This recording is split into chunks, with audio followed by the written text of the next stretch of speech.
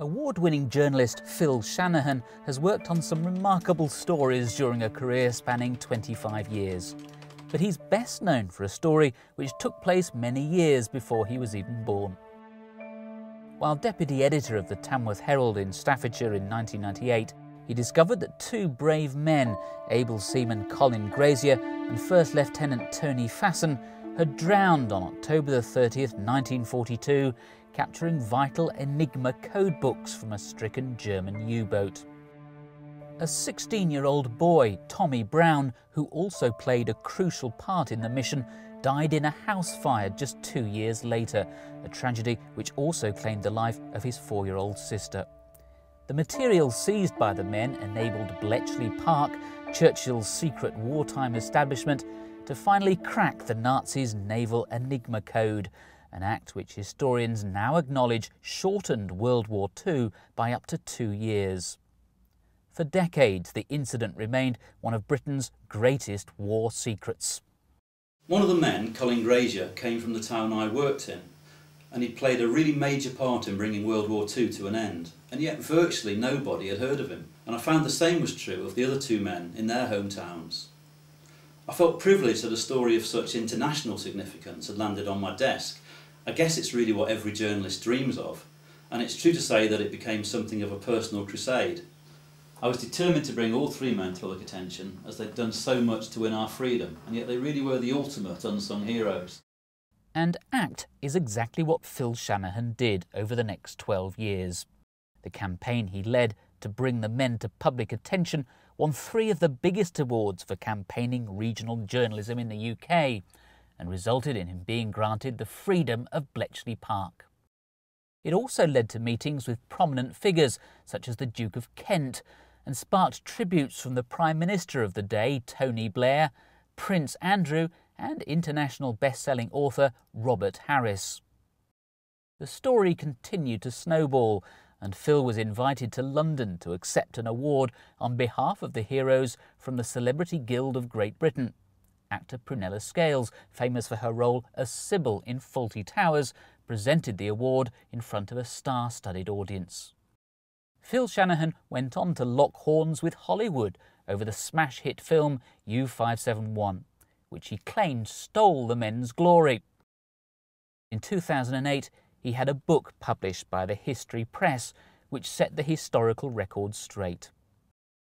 He was invited to present Prince Charles and Camilla with a copy of that book, The Real Enigma Heroes, and to show them around an exhibition in Hut 8 at Bletchley Park, which tells the story behind the book.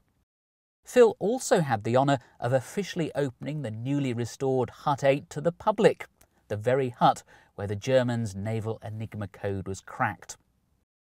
His work on the Enigma story has made headlines on both sides of the Atlantic and on TV, and he's also written on the subject in the Sunday Express and International Express. The public response to our campaign was absolutely phenomenal, and money poured in from all over the world to fund a magnificent monument in the men's honour. It was created by sculptor Walenty Pytel, who also produced the Queen's Jubilee Fountain sculpture at the Houses of Parliament. The unveiling of the sculpture was a really emotional day because we had around 14 men there from HMS Petard and these are the very men who took part in the action against the U559. And we also had close friends of the three heroes present and many of their relatives too. And several people just wept openly in St Square and it really brought home to me that 1942 was not all that long ago really in the scheme of things. The sculpture in Tamworth consists of three anchors, each representing one of the men. The anchors are bound together by a genuine ship's anchor chain, itself weighing more than two tons. The campaign led to other major tributes to Grazier Brown and Fasson, a young naval officer from Scotland. Roads have been named after all three heroes, as well as Bletchley, HMS Petard, and its captain Mark Thornton. A £1 million hotel bears Colin's name, as does the HQ of a large high-tech company. And a beautiful stained glass window now commemorates Tommy Brown in his hometown of North Shields. Phil's book, The Real Enigma Heroes, was launched by Shadow Defence Minister Dr Julian Lewis at Bletchley Park and is packed with eyewitness accounts of the mission that turned the course of history. The book contains some exceptional revelations, such as how a simple bar of soap became a vital weapon against Hitler. I was even handed a personal diary written by Reg Crang, who was the ship's radar operator, and he'd watched the drama with the U-559 unfold. And while still on board, he'd written a, a really graphic account of the action in a diary, which he kept hidden in his cabin. It's funny to think that Reg didn't realise the significance of it all until he was a pensioner, and that was decades later. But then again, even Colin Grazier's parents went to their graves thinking that their son had died in an unsuccessful mission.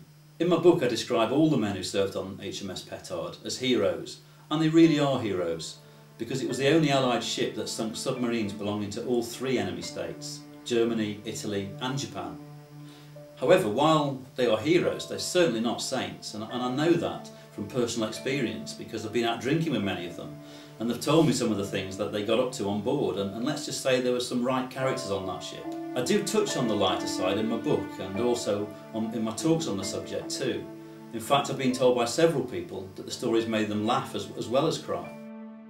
Phil Shanahan is prepared to travel to talk to your group about this compelling story.